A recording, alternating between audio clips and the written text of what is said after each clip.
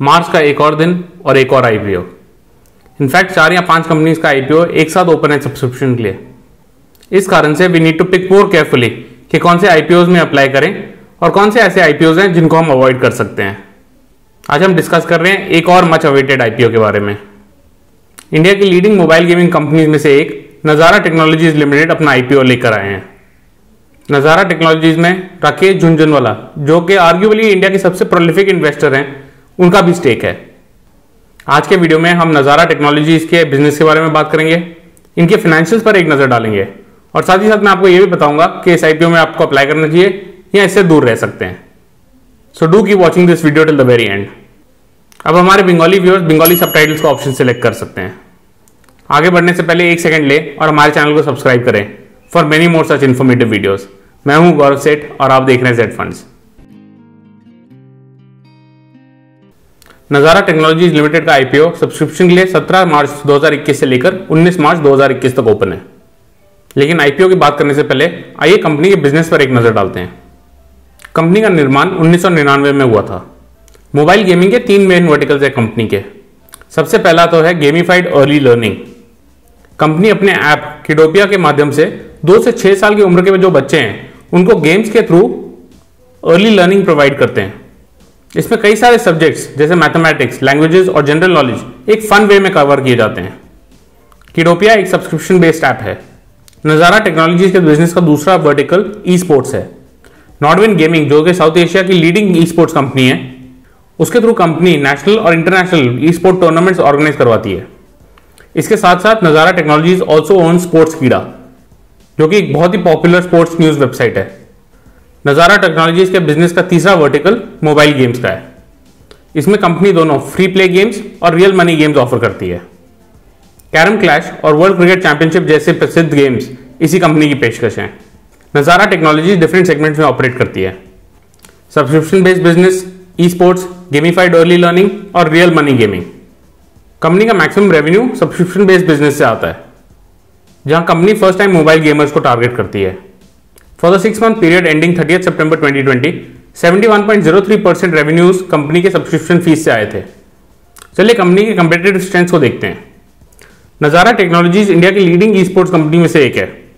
Company के पास एक वाइड रेंज ऑफ़ प्रोडक्ट्स है across mobile gaming and early learning company geographically भी वेल डाइवर्सिफाइड है। कंपनी की लीडरशिप बहुत स्ट्रांग है और कुछ बहुत ही रनाउंड इन्वेस्टर्स जुड़े हुए हैं कंपनी के साथ। कंपनी का बिज़नेस मॉडल ऐसा है कि इसमें ज़्यादा एसेट्स नहीं लगते। चलिए नज़ारा टेक्नोलॉजीज़ के पिछले कुछ सालों के फाइनेंशियल्स पर एक नज़र डालते हैं। कंपनी ने पिछले तीन सालों में रेवेन्यू ग्रोथ बहुत ही सॉलिड दिखाई है। 2017-18 में कंपनी का टोटल रेवेन्यू एक सौ बयासी करोड़ रुपए का था। अगले दो सालों में बढ़कर ये 2019-20 में दो सौ बासठ करोड़ रुपए से ऊपर का हो गया है। इनफैक्ट कंपनी को पिछले साल लॉकडाउन से बहुत ही फ़ायदा हुआ, क्योंकि कई नए यूज़र्स ऐड हो गए। कंपनी का revenue for the six month period ending thirty September 2020 already 207 crore रुपए से ऊपर का था। ये तो हो गई कंपनी की बिज़नेस और फाइनेंशियल डिटेल्स अब स्पेसिफिकली इस आईपीओ की बात करते हैं. आईपीओ में टोटल अप्रॉक्सीमेटली बावन लाख चौरानवे हज़ार शेयर इशू किए जा रहे हैं. ये सारे ही shares offer for sale method के थ्रू हैं, यानी एग्जिस्टिंग शेयर होल्डर्स अपना स्टेक बेच रहे हैं. आईपीओ में जो शेयर्स ऑफ़र किए जा रहे हैं, इनकी फेस वैल्यू चार रुपए की है. लेकिन आईपीओ के लिए इनको एक प्रीमियम पर बेचा जा रहा है. आईपीओ के लिए प्राइस बैंड ग्यारह सौ रुपए से लेकर ग्यारह सौ एक रुपए का रखा गया है. इस हिसाब से टोटल आईपीओ की वैल्यू अप्रॉक्सीमेटली पाँच सौ तिरासी करोड़ रुपए की बनती है. अगर आप इस आईपीओ में अप्लाई करना चाहते हैं तो मिनिमम एक लॉट के लिए अप्लाई करना पड़ेगा। इस केस में एक लॉट तेरह शेयर्स का है। यानी आपकी मिनिमम इन्वेस्टमेंट चौदह हज़ार तीन सौ तेरह रुपए की होगी। आप मैक्सिमम तेरह लॉट्स के लिए अप्लाई कर सकते हैं, यानी एक सौ उनसत्तर शेयर्स के लिए। इन दिस केस आपकी इन्वेस्टमेंट एक लाख छियासी हज़ार उनसत्तर रुपए की होगी। चलिए आईपीओ का टाइमलाइन देखते हैं। आईपीओ की ओपन और क्लोज डेट 17 और 19 मार्च 2021 की है। बेसिस ऑफ़ अलॉटमेंट 24 मार्च को किया जाएगा। और रिफंड इनिशिएशन और एजबा अनब्लॉकिंग 25 मार्च को होगी। आप शेयर्स का क्रेडिट अपने डीमैट अकाउंट में 26 मार्च तक एक्सपेक्ट कर सकते हैं। शेयर्स की लिस्टिंग डेट 30 मार्च की तय की गई है। आईपीओ के registrar Link Intime India private limited है।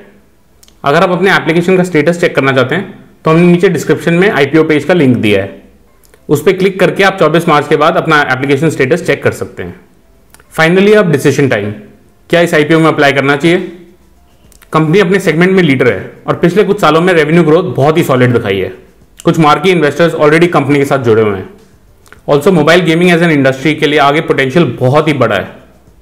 नज़ारा टेक्नोलॉजीज़ का grey market premium as of thirteen March साढ़े सात सौ रुपये का चल रहा है। तो ऑल इन ऑल ये एक अच्छी इन्वेस्टमेंट लगती है। मैं पर्सनली तो इस आईपीओ में अप्लाई करूँगा। आप अपना डिसीज़न लेने से पहले ज़रूर अपने फाइनेंशियल एडवाइजर से डिस्कस कर लें। अगर आपके और कोई भी सवाल हो या कमेंट्स हो तो नीचे दिए गए कमेंट सेक्शन में या फिर हमारी वेबसाइट जेड पर लिखें। इस वीडियो को लाइक करना और हमारे चैनल को सब्सक्राइब करना ना भूलें। Thank you for watching Z funds